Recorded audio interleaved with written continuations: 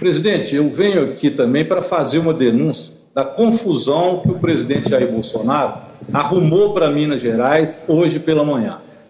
Isso depois das vaias que recebeu, do panelaço, do pessoal cobrando 600 reais e os projetos para minimizar os efeitos do coronavírus e fazer com que as pessoas possam ter sua renda mínima e seu trabalho garantido.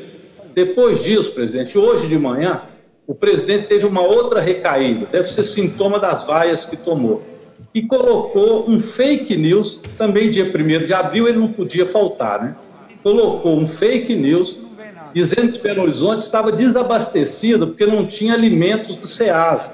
O SEASA que ele quer privatizar.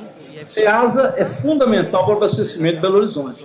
A população da região metropolitana ficou apavorada, porque ele postou um vídeo fake como se não tivesse alimento na cidade.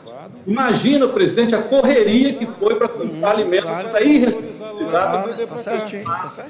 É algo impressionante como um presidente da República pode agir dessa forma. Mais tarde, ele apagou o fake. Deve ter vindo do gabinete do ódio, né, que agora diz que vai ter uma sala do lado dele, do Carluxo. Aliás, o Carluxo é o 02 ou 03? Se for no jogo do bicho, devia ser 03 porque hoje falou que nós estamos transformando num socialismo por causa das medidas sociais do coronavírus. Então, realmente, com essa ideologização, eles não conseguem fazer aquilo que precisam, unificar o povo brasileiro. Então, Bolsonaro, paga os 600 reais, para de falar bobagem, deixa o Brasil andar. É isso que o Brasil está pedindo a você. Muito obrigado.